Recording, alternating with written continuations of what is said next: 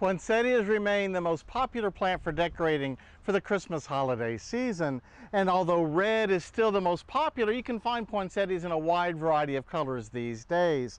Now, don't forget they're not poisonous. That's been disproven by lots of research. So you don't have to worry about poinsettias being toxic when you bring them into your home. Still make sure that you don't have them someplace where kids or pets can really get at them. Now, when choosing a poinsettia, you want to look for these big, large, beautiful bracts. These are modified leaves. The true flowers are here in the middle you want most of them to be in the green bud stage. Look for a nice wide plant with lots of dark green beautiful foliage and you'll have a lovely poinsettia. It's not a bad idea to have the plant sleeved when you purchase them, but do be careful with them bringing them home. They're very brittle. You can see this one actually has a support built right into the pot that keeps the branches from breaking off.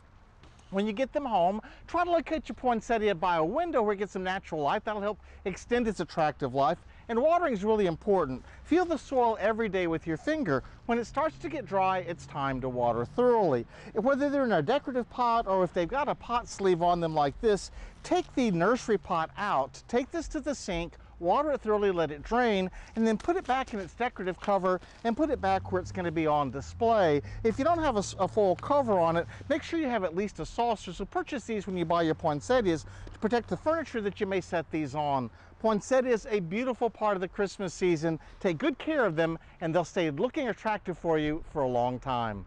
For Get It Growing. I'm Dan Gill with the LSU AgCenter.